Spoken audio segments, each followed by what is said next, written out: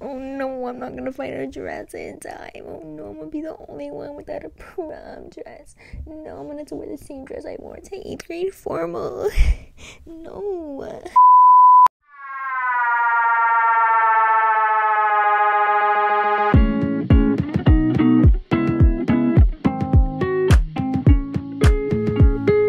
Hello everyone. Welcome back to my channel.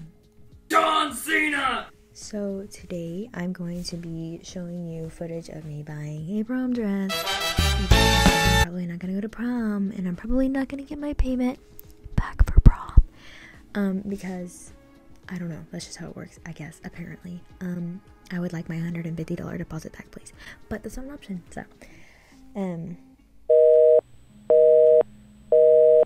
Anywho, I'm not gonna cry about it because there's no point in that, and I already cried about it. So, I instead am going to show you footage of me buying a dress because I was going to post this. This happened way before quarantine. This happened in February. I bought the dress. Let me say this your dress for prom does not have to be a lot of money. I paid $42 in tax for my dress, and my prom shoes were $15. I might not even end up going to prom.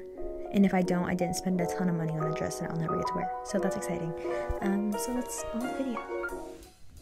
So the only place that I went to find a dress was Dillard's, the department store. I went two different times. The first time I went, there wasn't that many dresses, but the second time I went, there was more of a selection.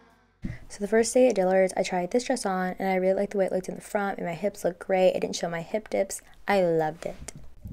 The issue with this one was my ass. I hated the way it looked. It literally squashed my butt. I am trying to show off. I'm trying to show these little boys what they were missing all these years before I go off to college and get married and hitched, engaged to the love of my life of a man. So I had to pop off. My butt had to look good. My wagon had to look plump because I've been working out all year, ladies.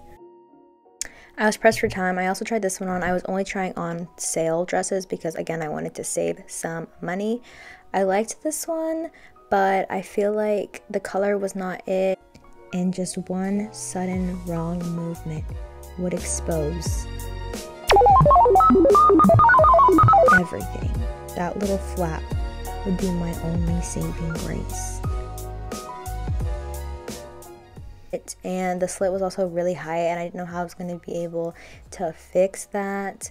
And I also did not love the sleeves, and the dress was super itchy. I think it was like $30 though, or 15 something like a few weeks later, um, day two for shopping. I tried on a ton of dresses, and let me tell you, there were so many dresses that were not my sister. I just hated them all, and I wouldn't just. And I was like, oh no, I'm not gonna find a dress in time. Oh no, I'm gonna be the only one without a prom dress.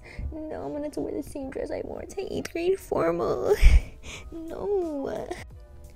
Little did I know. The first one I tried on was this pink one. It was awful, literally terrible. It made me look pregnant. The slit was cute and had pockets, and I was like, oh, cute, maybe this will be cute. It did not work, sis. It did not work. Then I just grabbed a whole bunch of dresses. I was like, F it, we're just gonna try a bunch on and see what happens. I tried on this blue one, and again, it was terrible. The bottom was so tangled, and poofy dresses just do not look good on me. I really like the back, but other than that, this dress was a flop, and I think it was like $200. I tried this dress on and I really, really liked it. It was $120 and again made my butt look great. I loved the halter neck and the slit was perfect. Like everything about this dress was great. I loved it. It went really well with my hair. But again, it was $120 and I had to really debate if I wanted to spend that much money on a dress. Next, I tried this one on and I really liked it. It was $42 and some tax. Um, I had my Nike pros on. Also, this damn lady would not stop knocking on my door while I was in the dressing room, even though I yelled busy twice. Oh my god, yes, Karen. Busy. Please ignore me. Um, I was also bloated that day because I'd eaten one too many Cheetos. But um, yes, this was the dress I tried, and I put it on hold because I wanted to make sure I had mom's approval. I came back later, tried the same dress on, and let me just say my booty is banging in this dress. And this may or may not be the dress that I bought, but you know what? I'll reveal that later if I have a prom. And then for my prom shoes, I bought these little sparkly number um, $15 from DSW. Love DSW. Um, so much. Oh my god, please give me more discounts because I love buying your shoes and I love it even more when you're free. Okay. Um anyway, there go a little ahead. Um thank you so much for watching this video. If you liked it, give it a thumbs up. If you didn't, I don't care. Okay? I don't care. Because I'm trying. I've been only out here for two freaking days. I'm trying.